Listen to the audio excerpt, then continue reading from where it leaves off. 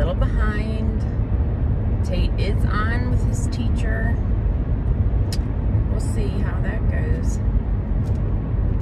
Excuse me. Um, I haven't burped for you guys in a long time. Um, there's a police officer that she just keeps like sitting moving and sitting and moving. I um was man, the scale today would not like repeat a number. I was like, I must have tried eight times. It was annoying. So I'm taking um there was a couple low ones and uh, like a little bit higher. So I don't know. I got two repeated ones at the end of 163.0. So that's an increase of 0.9. Um, if I wasn't trying to get to a certain weight before Wisconsin, I would probably be pretty happy with that, being that I ate what I ate last night. After yoga, I was so fucking hungry. Like, not, not a um, emotional hungry. I was starving. I, I mean, I just, I, I put a whole chicken breast on my plate and a huge serving of broccoli, and I knew that wasn't going to be enough food. I just was that hungry. Um, and it wasn't like I needed to sweet this or whatever. I just needed more food, more volume. Um, so I went to go make a salad, and then I didn't have anything but lettuce. So I was like, well, that's not going to work. I mean, I could have just ate lettuce, but um, I really wanted a second. I should have made six chicken breasts. I need to start increasing the amount of food I cook now because of my son. He eats way more than he used to. Actually, when the kids were smaller, I used to make one chicken breast for them and cut it in half. And now they're both eating, they both could probably eat one and a half chicken breasts. So, because that's what I really wanted. I wanted more protein. I did go back and get a second plate of broccoli. And then I'm like, well, this isn't doing it. So I decided to try the Chobani flip that um, Eileen had recommended to me. Um, I didn't, I don't really like Greek yogurt. So, you know, not a big shock that I wasn't, that I didn't like it. I sprinkled all the little toppings that come with that on top of the yogurt and just basically ate the top layer with all the toppings. and then I threw the rest away. So I was like, well, that's not doing it. So then I grabbed one of the mini ice cream cones. They're about this big, um, 140 calories. So I ended up going for a second one of those. So I had two of ice creams. I know the carb count was ridiculous. I did cut up the cantaloupe, but I messed up. I waited too long and part of it was really bad. So I chopped up two mangoes and they weren't that good. So I ate a few handfuls of blueberries. So that's what I ate yesterday. Um, I didn't even count any calories or anything, but I know with the onion rings and the potato wedges, and I did have a built bite. I know with all that, I'm, you know, was what probably, you know, 2,000 calories or more. So I am pretty happy with the 0.9 gain. I just was trying to lose weight each day, even if it was minimal. So now I have work to do. Even more work to do. Fucking Eileen loses almost six pounds in one day fast, so that pisses me off that I can't do that. But I also, you know, it's hard for me to work out. She does a lot of working out on a fasting day, and I just can't. So I think today's more important that I get through um, like 36 hours or more. That's really what my goal is here for today. Um, you know, knowing I'm eating tomorrow, I should be fine, but I don't know. I fall apart. uh, I did get the. Um, I'll show you guys because it's L LNMT or something. I don't know the brand that Daniel recommended to me about for electrolytes, low carb electrolytes. He said they're really good. And I noticed that they're more focused on your sodium than anything than any of the other electrolytes. Um, so I'm interested. Um, I'm gonna run at lunch, and I will try them, and we'll see how that helps. Because he said that it's usually more of a um, you know electrolyte depletion when you're working out, when you're training than it really is that you're hungry. So we'll see. Um, I'm gonna shoot for three servings of electrolytes today. Do my workout. Today is a rest day for jump ropes. Tomorrow's 500. So I'm gonna do 5K with burpees at lunch. It's gonna be hot as fuck, so I brought a whole change of clothes today. It's already 72 and it's supposed to be what does this say? 86. I luckily did not get a migraine yesterday. That was close. So maybe the boat, you know, the Botox injections took care of that because I did have that visual change and that was scaring me. Um, I did get a little stressed out. I could use some advice. So, remember I showed you the pictures of agave, which was two Saturdays ago? um, my friend and I were out shopping and I put my name in and Derek's boyfriend came down to go fishing. Um, so I told them, I said, well, I'm going to put my name in agave if you guys want to come and come to dinner. I'll put it in for four. And it's usually like a two, two and a half hour wait. So I did that. And him and his friends came and we had a great time. Him and his friend came and me and Michelle were down there. My friend who's married with a kid, and um, he, he, Derek's boyfriend is really married with two children. Um, but I've never met the wife or the kids. Um, she doesn't want to do anything, I guess, because of COVID. So let me just preface this with Derek had really doesn't have a lot of friends. He had a core group of friends growing up and they maintained good friends until I would say till after we got married and then it was kind of like everybody grew up and did, does their own things and he really doesn't hang out with them much anymore um, and they'll drive right past our house on the way to the beach and not even stop by and say hi so I don't really consider them really good friends but um, Derek went and worked in Philly for a little bit and he met this guy that him and they're very close. They used to talk all the time. That's why I joke around and called him his boyfriend. They went fishing together. They go out to dinner. He comes and stays the night. Blah blah blah. Anyways, so two weeks ago I was down. There's this restaurant that I had been talking to him about, but you know, with the wait, it's kind of a mess and blah blah blah. Well, I put my name in and he just happened to be getting to town around that time. So they came and joined us for dinner. Not really thinking about that he's married and she's married.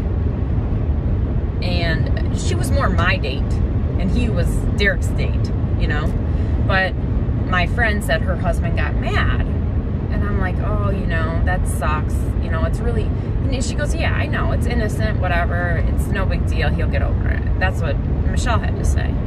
So I really didn't, you know, stepping back, I look now and I think, wow, I probably would have been super mad at Derek if he went to visit Chris and his wife brought her sister out or a friend out and they went with Derek.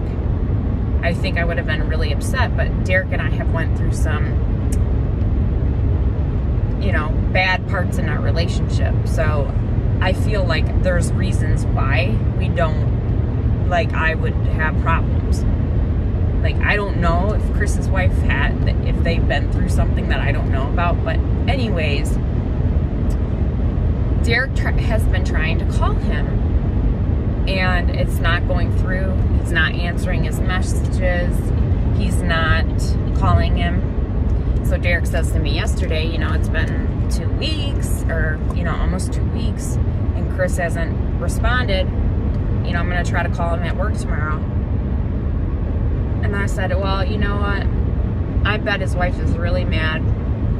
I'm thinking about it now, and I would have probably been really mad. But to cut you off, like you're never allowed to be friends again. I'm like, wow. I said, did they go through something that we're not aware of, maybe? And uh, he's like, I don't know. So we called him today, and yep, he's never allowed to talk to Derek again. And I just feel sick to my stomach because it breaks my heart because he doesn't have much outside of our family. Like that's why I moved and am willing to drive extra every day to go to work so he can have this fishing, you know, so he can have some downtime. So he can, you know, release stress and it just it hurts. It hurts me to my core that she's not allowing them to be friends anymore because of something I did. And I really didn't mean anything by it. And I just don't even know what to do.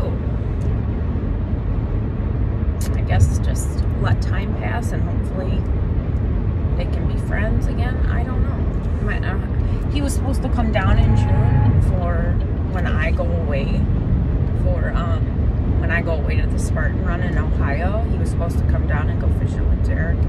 Just, I'm heartbroken. And the stuff with Tate's school, so maybe my cycle is starting to. I have to look. I think I'm at the end. Think at the end of this week is supposed to be PMS. So is that is that what's happening? I don't know. Would love advice. I I wanted to reach out to his wife, but I don't want to step on any toes. And also, what do I say? I how sorry I am that I fucked up. That please don't hold it against Derek and Chris. You know, I'll never take him out to dinner again. I just was, you know, down at the beach shopping with my friend, and it kind of just turned into, you know, them joining us. I just feel bad. And I, I see it now. I can see it so clearly that she would be upset. She doesn't even know we all got shit faced. I don't know. I feel terrible.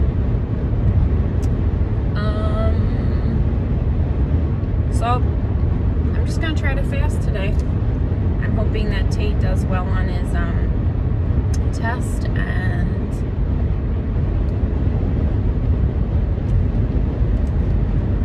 I hope I have a good day. It's gonna be hot as balls.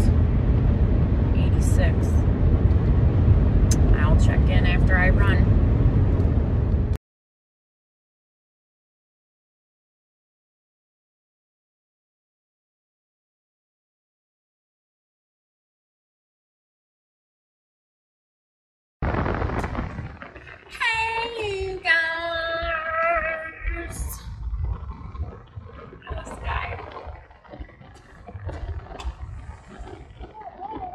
Dude.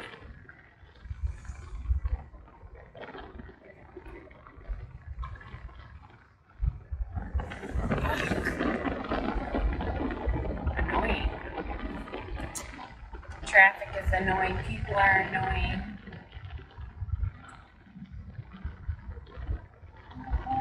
Can I get let out anywhere? Classy. Classy guy there. Real class act in front of me. Um, the girl that let me out is wearing a mask by herself in the car. At least she's nice, right? Um, so I ran at work. Uh-oh, hold on, Maddie's texting. Um, sorry, Siobhan. She needs new pointe shoes. I know. I'm working on it. Bitches are expensive. Um, let's see. What happened so far today?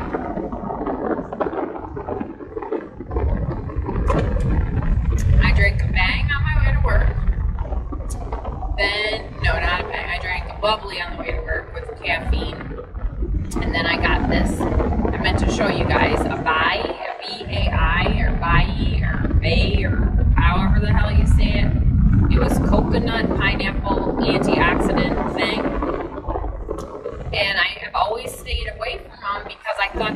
in carbs. Because I look at the carb count and they're 12, but they had 10 grams of erythritol in it. And that's only two net carbs then. Never knew that. So I'll probably be buying more of those, although it wasn't super tasty. It was okay. But being that I was fasting, you know, I like to have a variance of drinks and so I had my bang, my bubbly, then I had that, and then I realized that had caffeine in it too. So I had uh, my bang, then the bubbly with caffeine, and then more caffeine. So a lot of caffeine this morning. Um, then I had just a regular 26 ounces of water. Then I went for my no. Then I ran over something. Then I decided to do try those elements uh, electrolytes that Daniel recommended. They were okay. They were no, they were better than okay. They were seven thousand times better than snake juice. They were um, a thousand milligrams of sodium. I don't even remember what's in the snake juice. It's probably a lot more than that, but a thousand milligrams is nothing, you know, no weight. It has a little bit of magnesium in it, a little bit of potassium in it too. Um, definitely not your daily recommend. You know, I would probably have to take three of them to get, you know, where I should be. But at least I'm getting some more electrolytes in me. Uh, yes, I would say Daniel suggested that I do that when I'm fasting and training. He thinks that I will feel better. And I will say it did help me. I drank one, I drank about eight ounces of it, so half, before I went on my run, and then the other eight ounces right when I got back. And I brought two packs home to have, maybe another one tonight. Because it's hot. 84 degrees. It's fucking hot. So I need to uh, keep replenishing because I did sweat quite a bit. I should go and take my dogs for a walk. It's just the last uh, thing I want to do. Really just don't want to do that. um, it's so hot. And, whatchamacallit?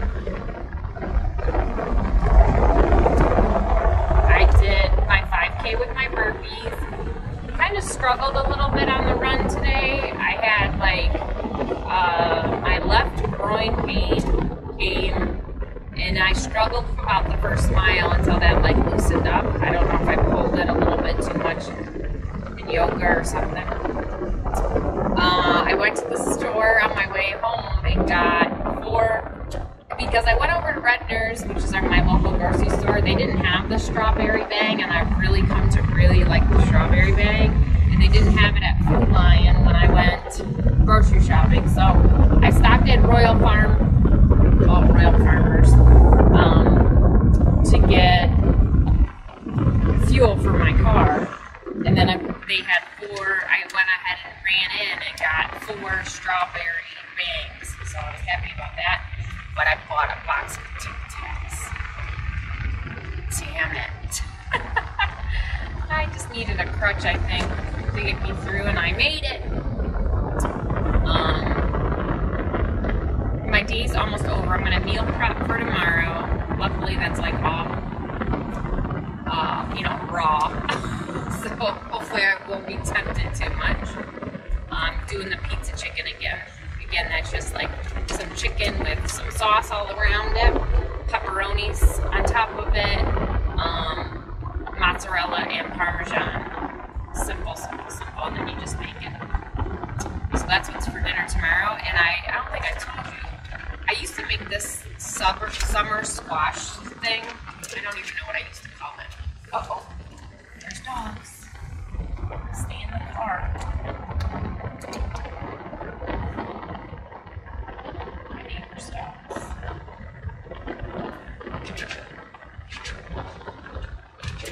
Um, what you call it? Get to my past anyway, so I'll talk to you guys. Um, make this summer squash medley. It's um, thinly sliced squash, zucchini. Um, if you have like little cherry tomatoes thinly sliced. A lot of people also, it's kind of like a ratatouille. A lot of people um, would slice potatoes really thin and put that in there as well. It's like a real hearty, nice side like you can pull all the ingredients out of your garden and slice everything thin and it makes a great side. I don't want to use potatoes because I don't want to, the carbs in potatoes. So I'm going to do thinly sliced zucchini, thinly sliced squash. I'm going to prep all that today. Um, thinly sliced onion, garlic. So saute some onion and garlic in a pan, Big Shack. Tons of slices of zucchini and um, zucchini and squash. And if I have some tomatoes, which I don't think I do, I would thinly slice those. And that all goes into a saute pan. Saute that all up with oil. And then you fill it in with some Italian dressing. And then you top it with mozzarella. That'll be a perfect side for that um, pizza uh, chicken tomorrow. And I might go grab a bag of salad too tomorrow on my lunch break. So that's what it is. Um, yeah, my doggies. Put your head in the car, okay? Um, it's 5.30 and I made it this long. I just gotta keep going. And my goal is to go to lunchtime tomorrow and have a snack or something that'll help me through yoga. And then I just told you my dinner. Hope everyone has a great night. Very, being very active crushing it.